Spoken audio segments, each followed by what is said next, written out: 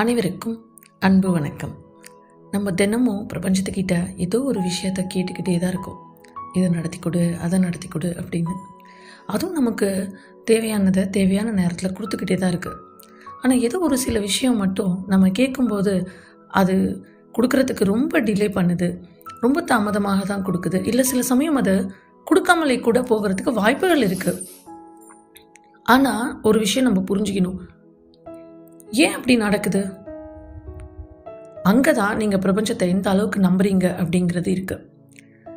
உண்மையாகவே நீங்கள் பிரபஞ்சத்தை ஆத்மார்த்தமாக நம்பி நமக்கு மேலே ஒரு சக்தி இருக்குது நம்ம கூடவே அது வந்து நம்மளை வழிநடத்தி கொண்டு போகுது. இந்த பிரபஞ்ச சக்தியை நான் முழுமையாக நம்புகிறேன் அப்படின்ற நம்பிக்கை உங்களுக்குள்ளே இருந்ததுன்னா முதல்ல பிரபஞ்சம் உங்களுக்கு தரவே இல்லையே.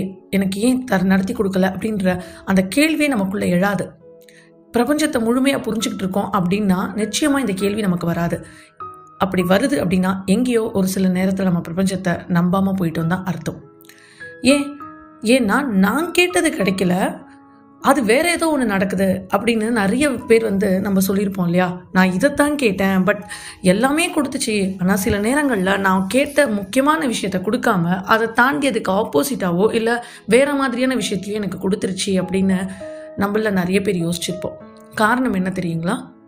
நமக்கு கேட்ட உடனே இத்தனை விஷயங்கள் கிடைச்சிது அப்படின்னா அந்த விஷயங்கள்ல உங்களுக்கு சரியான தெளிவு இருந்திருக்கும். அது கிடைச்சா நான் என்ன பண்ண போறேன்? அப்படின்ற புரிதல் இருந்திருக்கும். இது கிடைச்ச உடனே கரெக்டாக நீங்கள் இதை பண்ணிடுவீங்க அப்படின்றது உங்களை விட பிரபஞ்சத்துக்கு ரொம்ப நல்லா தெரிஞ்சிருக்கும். அதனால தான் நீங்கள் கேட்ட உடனே அதை நடத்தி கொடுத்துச்சு. ஏன்னா அந்த முடிவு சரியானது அப்படின்னு அந்த பிரபஞ்சத்துக்கு தெரிஞ்சிருக்கு.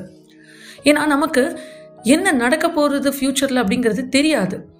ஸோ அட் ப்ரெசண்ட்டில் நம்ம என்ன பார்க்குறோமோ யாரெல்லாம் நம்மக்கிட்ட எப்படி நடந்திருக்கா நடந்துக்கிறாங்களோ நம்மக்கிட்ட என்ன இருக்கோ இதெல்லாம் வச்சு நமக்கு என்ன தேவையோ இதை வச்சு தான் நம்ம கேட்குறோம். எனக்கு இதுதான் வேணும்.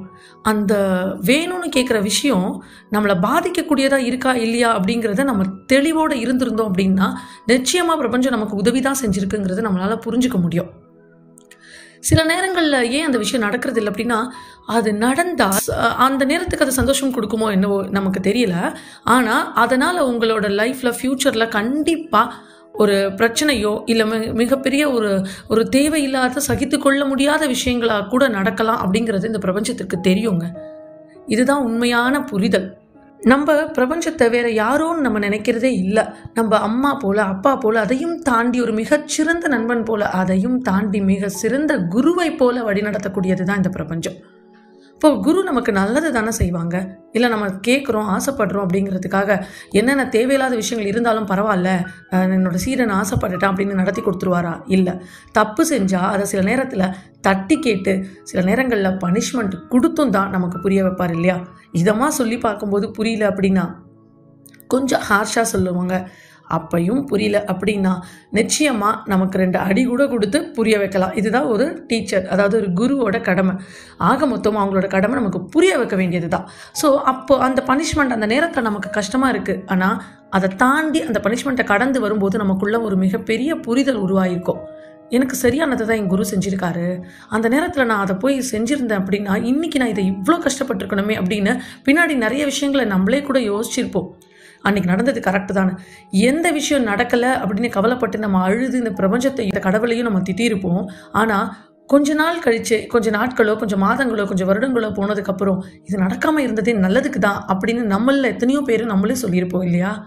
இதுதான். பிரபஞ்ச அறிவு அப்படிங்கிறது. என்ன அப்படின்னா அதுக்கு முன்னாடியே தெரியும். அதுக்கு எப்படி தெரியும் அப்படின்னா அதுதான் நம்ம நமக்குள்ள இருக்கே. நம்ம சப்கான்ஷியஸ் தானே. அப்போ நம்ம உள்ளுணர்வு தான் அந்த விஷயத்தை நடக்க விடாமலும் செய்யறது. அப்போ எது நம்ம நடக்கணும்னு எந்த உணர்வு கேட்குது அப்படின்னா அதுவும் நம்மளோட உள்ளுணர்வு தான். என்ன அப்படின்னா விழிப்படைந்த உள்ளுணர்வு ஒன்று இருக்குது விழிப்படையாத உள்ளுணர்வுன்னு ஒன்று இருக்குது இது கொஞ்சம் குழப்பமாக இருக்கலாமா இருக்கும். ஆனால் நல்லா கவனித்து பாருங்கள் உங்களுக்கு புரியும். தெளிவோடு கேட்குறீங்க இல்லையா? அது விழிப்புணர்வோடு கூடிய உள்ளுணர்வு. இதுதான் எனக்கு வேணும். இது நடந்தால் என் லைஃப்பில் நான் இவ்வளோ சந்தோஷமாக இருக்க போகிறேன் இது எனக்கு கிளியராக தெரியுது. உங்கள் என் மனசில் படுது அப்படிங்கிறது ஒரு நிறைவாக உங்களுக்கு புரியும். அதே போல் அந்த விஷயம் நீங்கள் கேட்குற விஷயம் உங்களால் மற்றவங்களுக்கு எந்த பாதிப்பையும் தராது. முழுக்க முழுக்க நீங்கள் சம்மந்தப்பட்டதாகவே உங்களோட ஃப்யூச்சர் எதிர்காலத்தோட முன்னேற்றத்துக்கு சம்மந்தப்பட்டதாக தான் இருக்கும். ஆனால் சில விஷயம் நடக்க போன விஷயங்களை நீங்கள் நினச்சி பாருங்கள் ஏதோ ஒரு விஷயம் அடுத்தவங்களோட சம்மந்தப்பட்டிருக்கும் அது அடுத்தவங்கள பாதிப்புக்குள்ளார விஷயமாகவும் இருந்திருக்கும். இல்லை அது அங்கே போனால் நமக்கே தேவையில்லாத பாதிப்புகள் ஏற்படக்கூடியதாக இருக்கும். அதனால் மட்டும்தான் இந்த பிரபஞ்சம் அதை தடுத்து நிறுத்தி இருக்கும் அதற்கு பதிலாக வேறு ஒரு ஒரு ஒரு விஷயத்தில் உங்களுக்கு அதை ஃபுல்ஃபில் பண்ணியிருக்கும் அந்த பிரபஞ்சம். நிச்சயமாக நம்மளை வெறுங்கையோடு அதை இருக்கவே விடாது. அனுப்பியிருக்கவே அனுப்பியிருக்காது. நீங்கள் கேட்டு பிரபஞ்சம் உங்களை வெறும் அனுப்பவே அனுப்பாது. நல்லா கவனித்து பார்த்தோன்னா நம்மளுக்கு முன்னாடி நடந்த விஷயங்கள் எல்லாம் நம்ம நினச்சி பார்த்தோன்னு வச்சுக்கோங்களேன் நம்மளால் நல்லா உணர முடியும்.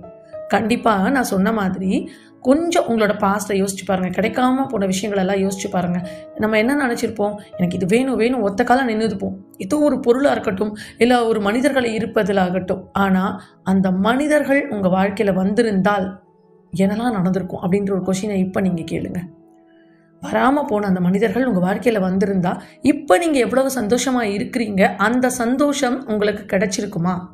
அந்த மனிதர்கள் உங்கள் கூட இருந்திருந்தா அந்த பொருள் நீங்கள் கேட்ட அந்த பொருளே உங்களுக்கு இருந்திருந்தா ஸோ இந்த கொஷினை நம்ம யோசிக்க வேண்டியதாக தான் இருக்குது இங் இந்த இடத்துல நம்ம பார்க்கும்போது நம்ம பிரபஞ்சத்துக்கு நிறைய நன்றி தாங்க சொல்லணும்.